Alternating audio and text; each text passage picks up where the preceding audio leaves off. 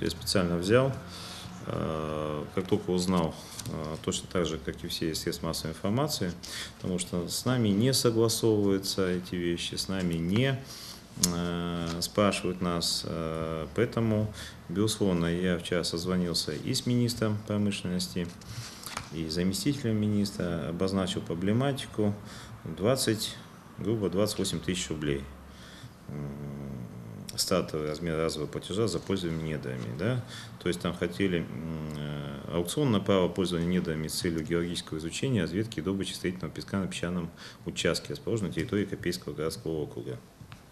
Э, просто мы начали забывать, что пляж, который копейчане уже ну, долго, несколько десятилетий пользуются, это был все-таки песчаный карьер, где была заработка, это э, собственность области, Э, и, скажем, имели они такое право, здесь вопрос э, юридическое разграничение земель, но имели они право так, такие вещи сделать. Но вот мы договорились, что в будущем, если такие вещи будут э, производиться, все-таки согласованными с главами.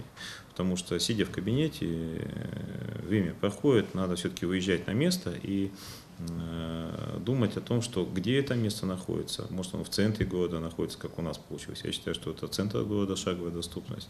То, что действительно это уже стало местом муниципальным пляжем, прилегающая земля.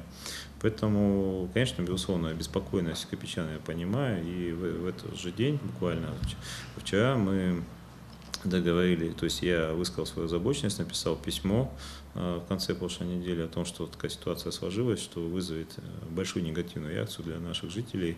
И понимание я услышал, этот э, аукцион будет снят. То есть копичанам волноваться не стоит. И, соответственно, задача, которая стоит перед нашими муниципальными службами, это прежде всего организовать там пляж,